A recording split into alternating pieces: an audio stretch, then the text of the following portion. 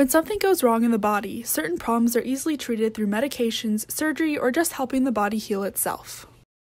But not all places in the body are easily accessible through traditional methods.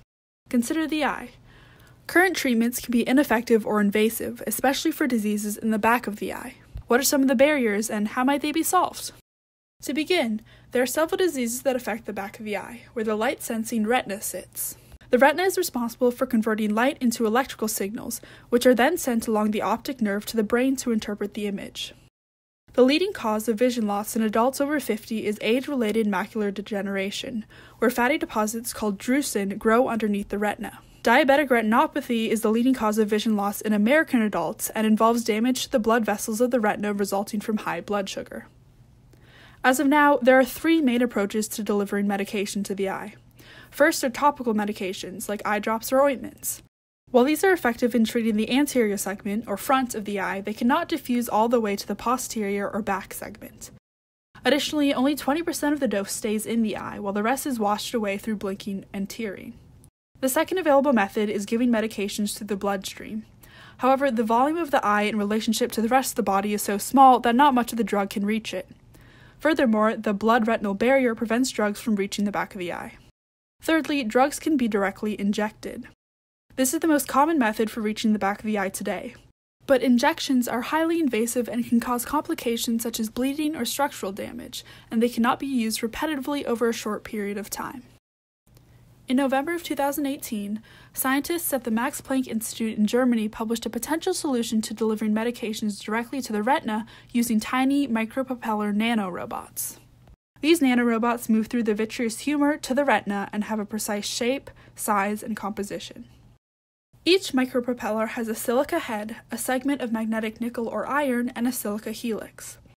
The helical microstructures were created through glancing angle deposition, GLAD, a nanotechnology technique where a vaporized material is sprayed onto the micropropeller heads while they rotate at a specific angle, building up the tails in a helical shape. To make the nanorobots move, they are put in a rotating magnetic field. The nickel or iron segment is attracted to the magnetic field and causes the micropropeller to rotate, and the helical tail keeps it moving forwards. Although the vitreous humor is 99% water, it is jelly like in consistency and contains a mesh of collagen and other proteins, approximately 500 nanometers wide. The micropropeller must be small enough to fit through this meshwork, but big enough to move quickly and carry potential drugs.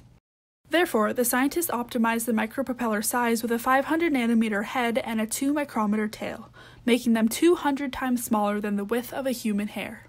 The nanorobots also must glide cleanly through the eye without sticking to its surroundings. To achieve this, scientists cover the micropropellers in perfluorocarbons, highly hydrophobic molecules consisting of carbon and fluorine. A second layer of perfluorocarbon liquid was then added, which fused with the first layer to create a highly slippery surface that greatly reduces adhesion in the eye. This slippery coating was inspired by the carnivorous Nepenthes pitcher plant, which uses a similar waxy substance to trap insects. Scientists then fluorescently labeled the micropropellers so they could track their movement and injected them into the center of a pig eye. After 30 minutes in the magnetic field, the micropropellers reached the target in the back of the eye, spreading an area of diameter 6 millimeters, about the size of a pencil eraser. The injected solution also had a diameter of 6 millimeters, indicating that the particles are highly directable. They can be focused to a particular area of the retina. The particles also traveled approximately 10 times faster than what passive diffusion could achieve. In the future, these nanorobots could accurately and non invasively deliver drugs to the back of the eye. The micropropellers could also be altered to travel through other biological tissues.